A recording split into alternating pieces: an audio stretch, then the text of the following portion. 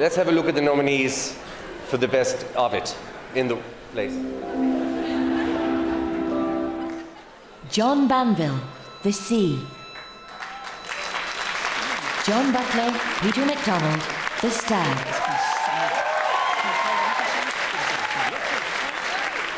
Ailbhe Keogan, Steph Green, Run and Jump.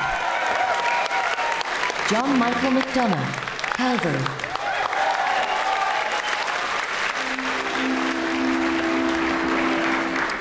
So they are the nominees. Um, in announcing tonight's winner, we are, by extension, creating three losers.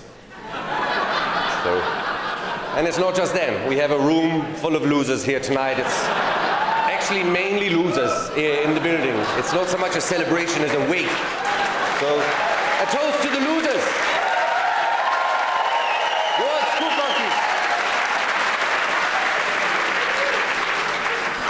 May you hang your head in shame and slope off into the corners of Ireland with uh, Paul Kiely and Mr. Callinan and Angela Kerins. Anyway, um, so we come to best film script. There was a competition. Well, it wasn't a competition. Somebody decided something was better than something else at what people did.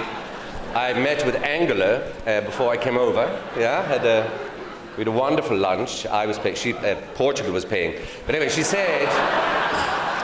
She said, I think it's going to be John Michael McDonagh for uh, Calvary. Now, she's not always right. Look at um, uh, Putin and Ukraine, all of that. She, uh, anyway, she's not often wrong, but let's see what. A lot of pressure on her now. Fair play to the old bag. John Michael McDonagh for Calvary.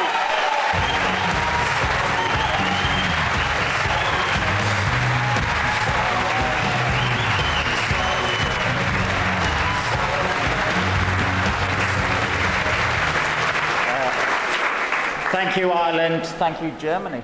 I guess you're from Germany. Austria. Uh, it always uh, Austria, is it? Right.